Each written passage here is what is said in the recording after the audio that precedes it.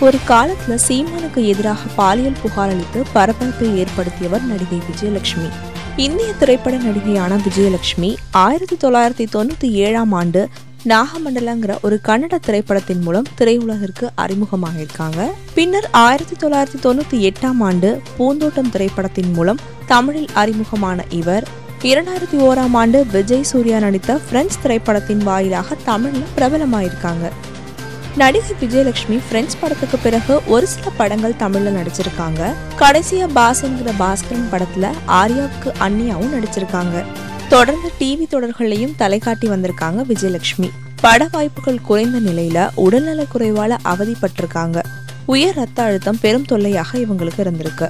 இதனால பெங்களூர்ல சிகிச்சை எடுத்துட்டு வந்திருக்காங்க விஜயலட்சுமி. கடந்த சில தினங்களாகவே திடீர்னு சீமானுக்கு எதிராக பொங்கி வர விஜயலட்சுமி அவருக்கும் தனக்கும் உள்ள பழக்கத்துக்கு சாட்சியாக சில வீடியோக்களையும் வெளியிட்டிருக்காங்க. அதோட தொடர்ச்சியாக தனக்கு எதிராக பேசும் தம்பிகளை சீமானோட மவுத் பீஸ்னு வறுத்தெடுத்துட்டு வராங்க விஜயலட்சுமி. இயக்குனர் சீமான் தன்னோட மூன்றாண்டு காலம் நெருங்கி பழகியதாகவும் ஆனா தற்போது தன்னை ஏமாற்றி விட்டதாகவும் திருமணம் செய்ய மறுப்பதாகவும் பரபரப்பு புகாரை தெரிவிச்சிருக்காங்க நடிகை விஜயலட்சுமி. இது மட்டும் இல்லாம சீமானோட மதுரையில பதினைந்து நாட்கள் தங்கியிருந்ததாகவும் சொன்ன விஜயலட்சுமி சமீபத்துல சில போட்டோக்களையும் வெளியிட்டிருக்காங்க. இதை தொடர்ந்து பலசரவாக்கம் போலீசார் விஜயலட்சுமி வீட்டுக்கு போய் அவங்க கிட்ட அவரோட குடும்பத்துக்கிட்டையும் விசாரணை பண்ணியிருக்காங்க. கிட்டத்தட்ட இரண்டு மணி நேரம் இந்த விசாரணை நடந்திருக்கு. அப்போது வாழ்த்துக்கள் படத்தின் ஷூட்டிங்கின் போதுதான் தனக்கும் சீமானுக்கும் இடையே நட்பு ஏற்பட்டதாகவும் இதுக்கப்புறம் அது காதலா மாறியதாகவும் விஜயலட்சுமி சொல்லியிருக்காங்க.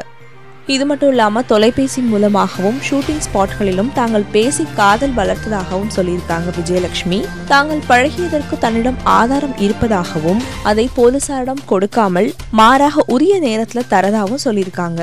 இவங்க சொன்ன எல்லாத்தையும் பதிவு செஞ்சுக்கிட்ட போலீசார் தற்போது விஜயலட்சுமியின் புகாரோட அடிப்படையில சீமான் மீது கற்பழிப்பு பெண்கள் வன்கொடுமை நம்பிக்கை மோசடி உள்ளிட்ட ஆறு பிரிவுகளின் கீழ் வழக்கு பதிவு செஞ்சிருக்காங்க.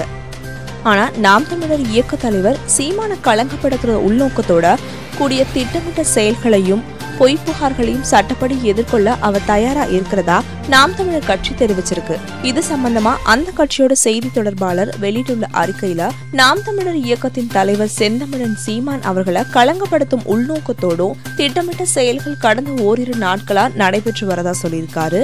பொய் புகார் கொடுப்பதையே வாடிக்கையாக வைத்துள்ள விஜயலட்சுமி என்பவர் கொடுத்த புகாரை வச்சுக்கிட்டு வழக்கினை பதிவு செஞ்சிருக்காங்க. காவல்துறையினும் குற்றம் சாட்டுறாரு கடந்த பல மாதங்களாக சிறைப்பட்டும் தமிழகத்தின் பல்வேறு பகுதிகளில் தமிழர் நலனுக்காக பிரச்சாரத்தில் ஈடுபட்டும் மக்களிடமிருந்தும் இயக்கத்தினரிடமிருந்தும் எல்லளவும் பிரியாது தொண்டாற்றும் எமது கட்சியின் தலைவரை இன நலனுக்காக போராட்டத்திலிருந்து பின்வாங்க செய்ய வேண்டும் என்ற உள்நோக்கத்தோடு சிலரோட தூண்டுதலின் பேர்ல இந்த பொய் புகார் திட்டமிட்டு கட்டவிழ்த்து விடப்பட்டதா அவர் சொல்றாரு.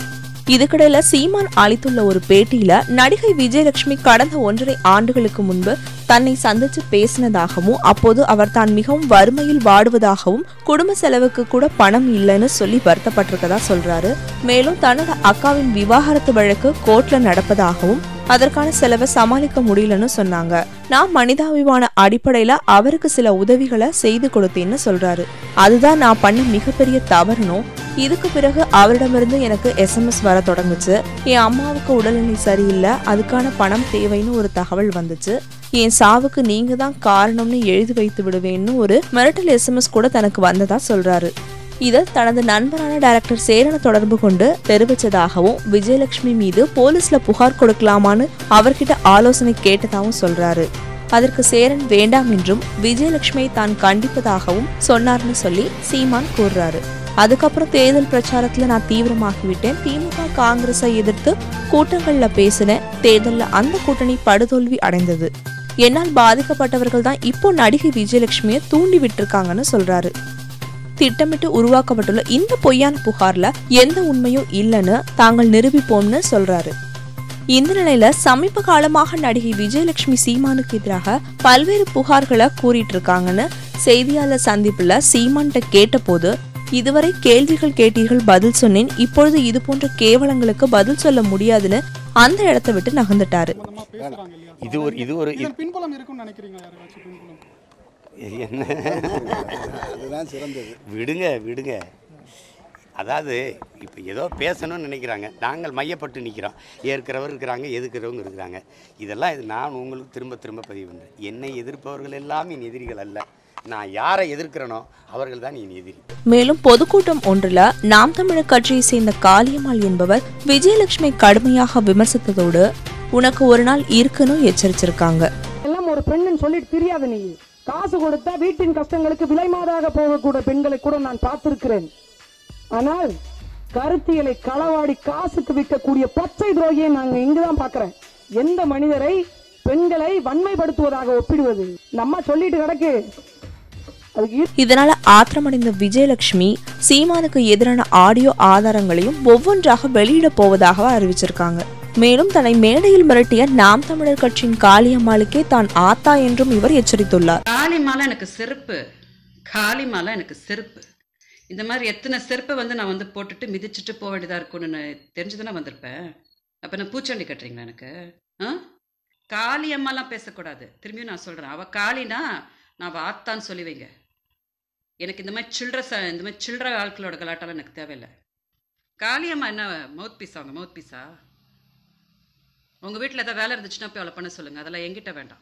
ஆதரவாளர்களை விட்டு விமர்சிக்கிறத சீமான் நிறுத்திக் கொள்ளாவிட்டால் வீடியோ ஆடியோ ஆதாரங்கள் எல்லாத்தையும் வெளியிட்டுவிட்டு சாவுக்கு காரணம் சீமான் தான் என்று கடிதம் எழுதி வைத்துவிட்டு உயிரை மாய்த்து கொள்வேன்னு விஜயலட்சுமி மிரட்டல் விடுத்திருக்காங்க.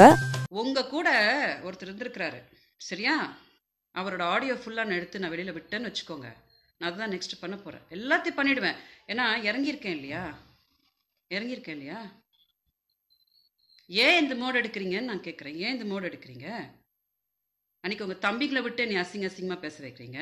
அப்புறம் டென்ட்டு கோட்டெல்லாம் எவனோ ஒரு நாய் என்னை பற்றி பேசுகிறான் இன்னைக்கு இவா அவ இவா வந்து உங்கள் இவன் தங்கச்சியாக இருந்துட்டு போகிறா இல்லாட்டி அவள் எவ்வளோ இருந்துட்டு போகிறா எனக்கு என்ன வந்துச்சு?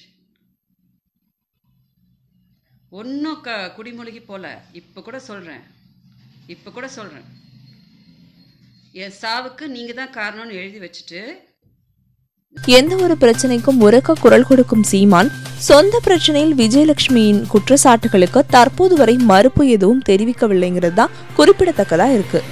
மேலும் விஜயலட்சுமி உடல்நிலை குறைவால அவதிப்பட்டு இருந்த போது விஜயலட்சுமிக்கு திரையுலகினர் உதவிக்கரம் நீட்ட வேண்டும்னு அவங்களோட சகோதரி வேண்டுகோள் ஒன்று விடுத்திருந்தாங்க. அதன்படி திரைப்பிரபலங்கள் சிலர் தங்களால் இயன்ற உதவிகளையும் செஞ்சாங்க.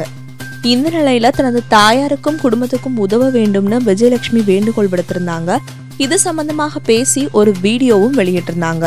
அதுல நான் ஒவ்வொரு நிமிஷமும் நரகத்தில் இருக்கிறேன் நான் அழிஞ்சு போகணும்னு நிறைய பேர் நினைக்கிறாங்கன்னு சொல்லியிருந்தாங்க. மேலும் தன்னோட குடும்பம் இப்ப சொல்ல முடியாத கஷ்டத்துல இருக்கிறதாகவும் இத ரஜினி சாரால மட்டுமே சரி செய்ய முடியும். ஆனா என்னை யாரும் அவர்கிட்ட கூட்டிட்டு போக மாட்றாங்க. அதனாலதான் இந்த வீடியோவை வெளியிடுறேன்னு சொன்னாங்க. இது அவர்கிட்ட எப்படியாவது ரீச் பண்ண வச்சிடுங்க. அவரால் மட்டுமே தான் எனக்கு உதவ முடியும்னு சொல்லியிருக்காங்க. மேலும் தான் கொடுத்த புகார் மீது போலீசார் உரிய நடவடிக்கை எடுக்கலைன்னா கோர்ட்டை அணுகப் போவதாகவும் அவங்க சொல்லியிருக்காங்க. ஆனா விஜயலட்சுமியின் புகார்களை சீமான் மற்றும் அவரோட தரப்பானது மறுத்துக்கிட்டு தான் இருக்காங்க. மேலும் இந்த பிரச்சனை தொடர்பான உங்களோட கருத்துக்களை கமெண்ட்ஸ்ல லீவ் பண்ணுங்க. இன்னும் இது போன்ற நிறைய வீடியோக்களை நீங்க தெரிஞ்சுக்க எங்க சேனலை சப்ஸ்கிரைப் பண்ணுங்க. மறக்காம பக்கத்துல இருக்க பெல் ஐக்கானை பிரஸ் பண்ணுங்க. நன்றி வணக்கம்.